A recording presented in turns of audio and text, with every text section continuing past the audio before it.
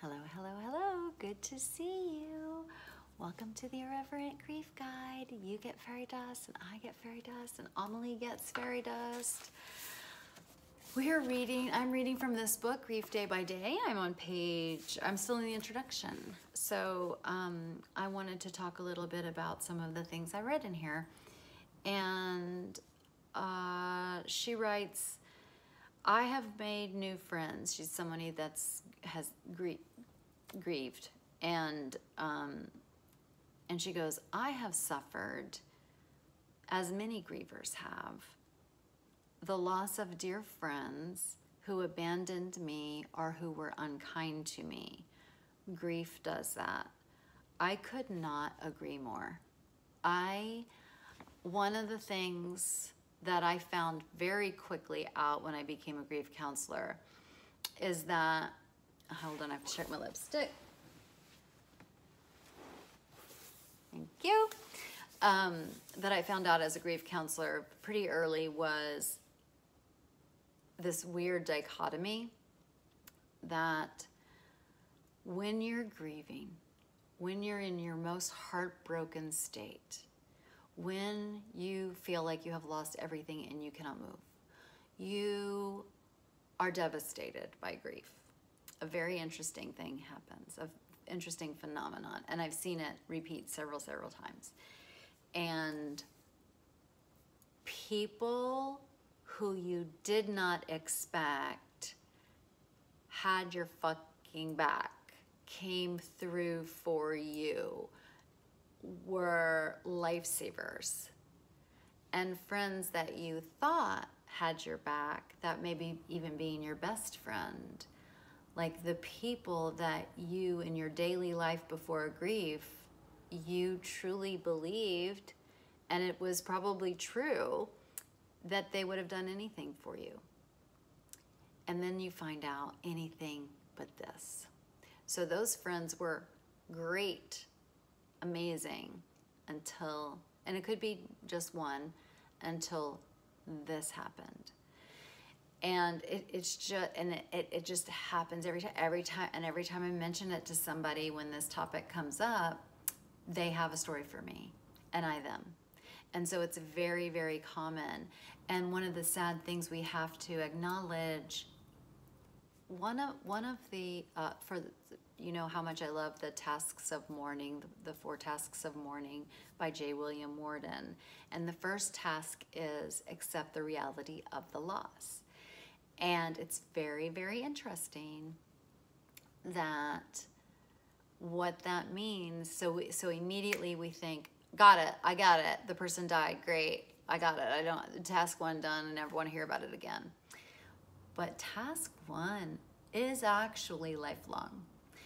And one of the ways that the reality of the loss, what the reality of the loss is, isn't actually what you've lost. Because you think, you know, especially early in grief, we think that we just lost the person. But what we did not realize is all the other fucking things we lost. And um, one example that just popped in my mind real quick was when my best friend died. Ooh, when my best friend died, one of the things that hit me shortly after he died, maybe within the first month or two, it started hitting me that no one was ever going to call me Little Bit again. That was his nickname for me. And it was super cute. As we met in treatment, I'm fucking skinny as fuck. But, and also I'm short, I'm 5'2", so I'm a shorty. But also it's my name, so Elizabeth Little Bit, so it fit in there. And, and I realized no one, uh, no one was gonna ever call me that again. And that is a huge fucking loss. That's a, that's a, there was a lot of love in that nickname. And I had the identity, not of being a little bit I'm over that.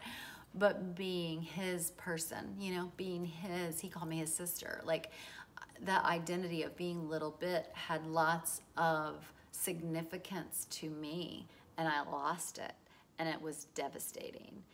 And Um, and so for, in that case, accepting the reality of the loss, I understood that he died, but it didn't hit me later of what that meant.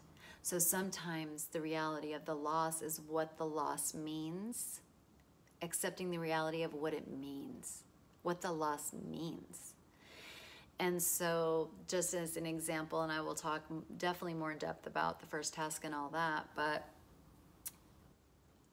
a person may die, let's say a father or mother dies before someone the child is married. So the father dies before the daughter is married.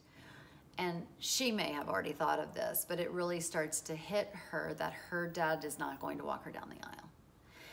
And that she has to work that task then.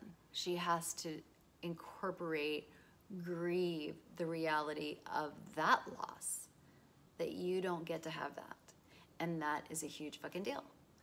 And so, one, back to the point and the thing that I read about we lose friends sometimes when we grieve, that we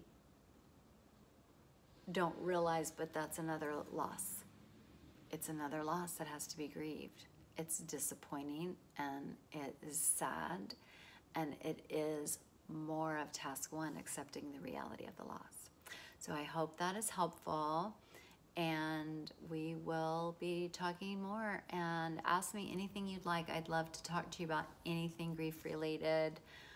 Um, any way that i can be helpful it would be my honor. Okay. Love you. Bye